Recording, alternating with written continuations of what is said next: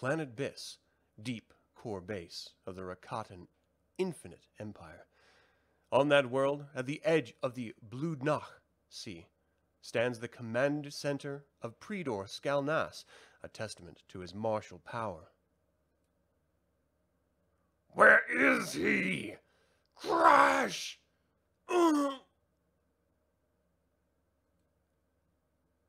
So clever is Tulkar. Disable the Devourer's reporting device, will he? He presumes that he will keep me from the force-rich world I seek? That world is my prize. He will not share it with me, his Predor, to whom he owes obedience. He connives to be my equal, conspires to replace me. Tulkar is even more devious than I gave him credit for. A pity, Trill, that my own Force Hound lacked the skill to locate the world. That Tulkar's hound Xesh found. I should prepare you for my table. Tulkar has betrayed me. I want his head on a spit! That world should have been my magnificent prize! It will be, my Predor. Allow me to take a scout ship, my Predor. I will track the Devourer from the spot where it vanished. By tracking Xesh, the world you seek will be where he is.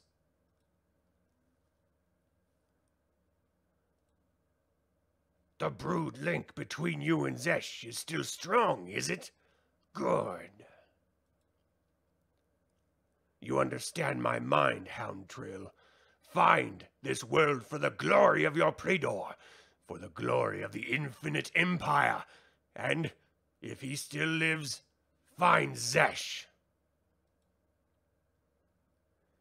Jedi legend tells how Tython birthed twin moons from her fiery core, dark Bogan, and light Ashla, to remind all those who seek balance in the internal struggle between dark and light. Millennia ago, the moons were colonies for non-force adepts who were compelled to leave Tython. From the moons, the children of Tython traveled outward to form settlement worlds. The ruins of the stone cities they left behind are used by Jedi in exile. Xesh sits and ponders the night sky as the shadow of Bogan again devours bright Ashla in the sky. The dark always devours the light. The Jedi say the light returns to balance the dark. The light side they speak of is alien to him. As a slave to the Rakata, Xesh has only known what the Jedi call the dark side. Memories of his past flicker before him, elusive, coming in shadowed glimpses. His earliest memory, him and his broodmates huddled together for warmth. Names and faces elude him, but she was always there, fierce protector, comforter of pain. Ripped from the brood, he was taken to his master's machines, encased in a tomb-like shell where he screamed in fear. Around him, he sensed his broodmates shrieking in the darkness. He learned anger and hate.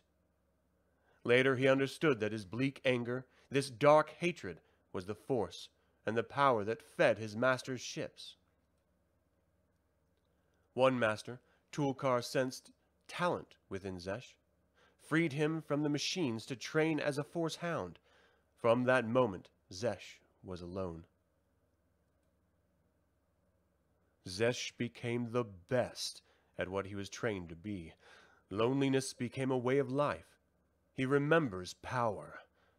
That was the past when he was a slave of the Rakata. Two months ago, everything changed. Even though the changing currents of the deep core, Xesh sensed Tython. He led the Rakata here to cull the world, but something went wrong. The Rakatan ship, the Devourer, exploded above Tython. As the ship fell, Xesh killed his master and stole his escape pod. On Tython, he encountered his first Jedi, three journeyers. He fought first to kill them, then fought to save their lives. She was the reason. In the dark abyss of Rue, she glowed with light. It was an experience outside of his understanding. Something within him yearned for it. He could not let her die. Why? She was the enemy. Death was common. He did not understand the feelings that compelled him to save her. Feelings that made him weak. He was struck down by the Force, by the other Jedi. They made him a prisoner and exiled him to this dark moon, Bogan. Log note Exile Xesh present in his compound, marking the end of his second month since arrival. Please note, the supply ship will arrive in one week. Good night, Exile Xesh. He was told by the Jedi that he was out of balance in the Force. His task on Bogan was to find the balance between light and dark through meditation and reflection. But Xesh understands the truth behind their words. He is here because the Jedi fear his dark power. He knows what Bogan truly is a prison. The supply ship comes in one week. Good to know. Make his rations last. He hasn't been hungry. He's better fed by his Jedi jailers than he was by his Rakatan masters. Tulkar is dead. Masterless on Biss, Xesh would have fought another slave in the arena for a new master, but he is not on Biss. If he is no longer a slave, then what is he?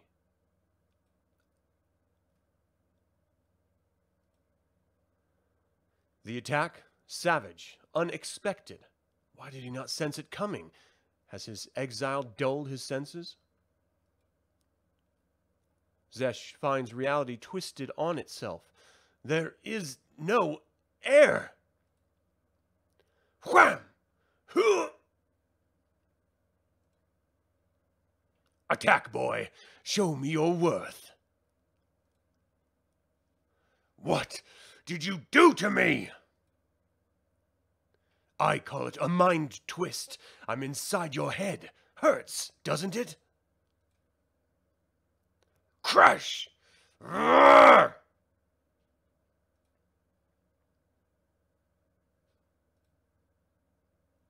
You want to kill me? Then do it! But first, answer one question. I want to know why you appeared here on Bogan to me. You saw me? Like the journeyers? I'm Daegen Lok. You have a name? I don't want to keep calling you boy. Xesh. Of course. Should have guessed. It's written all over your face. Put that on so you'd remember your name, did you? This mark designates me as a force hound of the Rakata. They mark our limbs, too. Easier to find the pieces if the battle does not go well. How did you enter my compound? I was told these cuffs kept prisoners apart, yet you don't wear them. No, neither do you. There, you're free. Figured out a way to remove them with the Force, without disabling the sensors, the sentry droids think we're where the cuffs are. Droids aren't actually very smart. A good trick, but we are still prisoners. There's no way off this moon. Now the sentry droid will think you sleep. Tonight is the dark of the moon, and we will cast no shadows. Walk with me, brother. Tython, Stav Kesh in the Ice Giant Range, a place for Jedi to train in the martial arts, and place to bring body and mind back into balance. Hiya! Master Tave instructs three journeyers, Shae Koda, Sek'nos Rath, and Tasha Ryo, reminding them, restoring them. Fight to preserve your life. Fight to preserve the life of your enemy. These are the tenets of the Jedi. Use the Force. Sense your opponent. Anticipate his next move. Then strike. Strike! Strike! Ha!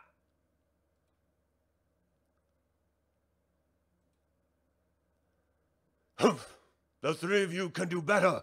Your attack was predictable. Your minds were elsewhere. Your feelings dominated by doubt and anger. Ah, you still dwell on the one sent to Bogan. We all saw Xesh in a vision before the crash, Master Tave. It was a true force vision. I think it meant he should stay here on Tython. So why aren't the masters taking us seriously? We After Xesh was subdued, the council allowed me to help him remember his past, but there were strong barriers, shadowed images, intense darkness. Xesh was out of balance, but not by choice. Had he stayed on Tython, he could have been helped by us. But our words, our vision, was swept away, just as the masters ignored Daegen Lok's vision. Why? You are young and don't remember. The temple masters are rightfully leery. Daegen's Lok's vision drove him mad, and he ended up on Bogan. Perhaps Daegen Lok's vision was real, too. Ours was. If that were true, it would indeed be serious. As for you three, can you recall a time in your training when the masters did not take your words and actions seriously?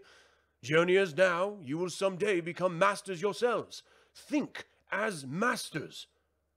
An alien craft from an unknown race crashes on Tython. Three journeyers have a vision of the only being to survive that crash. As masters, would you not take this seriously? Consider it deeply. Do not worry. You are not being ignored. Now, lessons are done. Tasha is required at Kaleth, and Shae and Sek'nos are needed at the forge.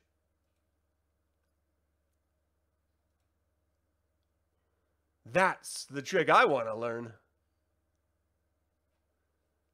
The waterfalls of Akar Kesh feed the rivers that flow beneath the towering monolith. Islands dot the landscape, tranquil in their isolation, a place for meditation. It's why Rajivari came here. A Jedi general in the Despot Wars, Rajivari's strong command won many battles, and his calm wisdom saved many lives. After the war, Rajivari laid down his sword and became one of the Jedi who meditate on the Force. His mind should be as still as a lake at dawn. That's why Ketu has come seeking Rajivari. Instead, he senses unease in his former master. Ketu, you have not infringed on my solitude since the matter of Daegen Lok. What brings you to disturb my meditations this time? Again, you ask your wisdom, Master Rajivari. I know that you sensed the dark energy that preceded the Force storm. All Jedi did. Yes, Tython's skies may be clear once more, but the darkness lingers. The balance is tenuous. Speak your mind. I will listen. As the two Jedi walk, Ketu tells Rajivari of the crashed alien ship and its sole survivor, Xesh, who wielded a blade of frozen energy. So, despite the journeyers' visions, the council sent Xesh to Bogan. Tell me, Ketu, did you ignore their vision because they are inexperienced journeyers, or because you did not share it? I should, should I sound war drums based solely on a vision, General. Daegen Lok's vision was far more dire, and the Council ignored it. Nothing happened. You think the Force whispers in your ear and visions become tangible? That's not how it works. All we're allowed are glimpses. If we are lucky, it is up to us to discern the truth. I know the truth, the vision Lok had in the chasm drove him mad. Then explain the blade of fire shared in both visions. Did you learn nothing from me? It's been twelve years since Master Telat was killed in the Despot War, and you took his place, yet you're still so youthful in your wisdom. How long will you be Master Telat's little shadow? For all your meditations on the balance and peace, you would still incite war.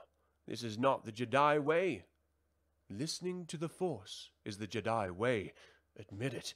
If these visions are true, the entire Jedi Order would change. All we know would come to an end. You came for my wisdom, Master Ketu? Tell the Master to consider Daegen Lok's vision a forewarning we should have heeded seven years ago. That what the journeyers experienced could be the dawn of what Lok's vision foretold. Learn what Xesh knows. Where there is one warrior, an army may follow. This is what I wanted to show you, Xesh. There was this big war on Tython about 12 years ago. I ended it, and some enemy fighters crashed here on Bogan during the final battle. They cleared most uh, off most of the battle debris, but my brother Jedi missed one.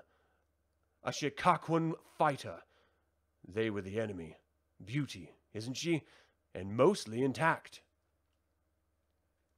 What's that, little brother? Oh, right. It's Lok's ship now. I don't intend to end up like this poor Murglak. I need to get off Bogan. I have a destiny.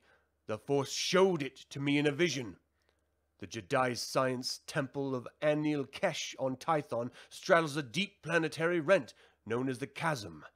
Exploration of the chasm is forbidden because no Jedi has ever gone very far into it without losing their mind. The Masters insisted there was something within the chasm that caused this madness. Me, I considered that a challenge. Following the war, the despot war, the war I ended, I'd risen from the rank of ranger to master. I convinced my best friend, a ranger named Hawk Ryo, to dare the forbidden with me. Daegen, you feel a buzzing in your head. I think we've gone far enough on this run. Let's head back and look over the data. Only the bottom is far enough. We said we were going to take this in stages. Be smart about it. Let's be brave about it. I. Wait. I'm seeing something. Figures forming in the mist. A creature with a single red eye leading an army. A sword of flame. Destruction fire, death. I stared into the void, into the mouth of chaos. I think I started screaming. Daegen, no! Hawk, look! Do you see it? I. We are getting out of here! Let go of me! Let me go! I told the council about my vision. The council told me I was mad.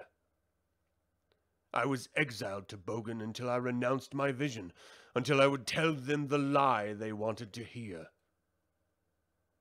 Narrow-minded fools! I know what I saw. I know what I was called to do. I will not change. They will.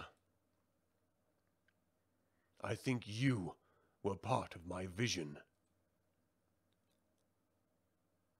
This looks like a force saber. You know this weapon? Yes, it's a force saber weapon of the force hounds of Rakata. My weapon, now in the hands of the Jedi. Without it, I am incomplete. Better they had cut off my arm. Your weapon was part of my vision, a sword of fire. I need this weapon, then they must believe me. Can you make another? Every Force Hound must build his own weapon. I need the right kind of crystal, then modify it through alchemy. Make a hilt. In theory, yes, I could make another. Not here. The planet Krev Kour is rich in raw crystalline material, and there are the forge factories on Nox, but we can't reach them. Why not? You have a ship. The ion drive and fusion reactor are intact, but mynocks sucked the power cells dry long time ago. No way to start it. I've tried. The Force is power. By the abyss! You know the way. You must pilot the craft. I will not be able to. The Force Hound sinks into himself, deep into the wells of rage, hate, and fear that burn within him, and makes them boil. Mynocks, drawn by the surge of power, flock hungrily to the ship. Beneath their leathery wings and flailing bodies, the ship's hull begins to glow. The reactor's online!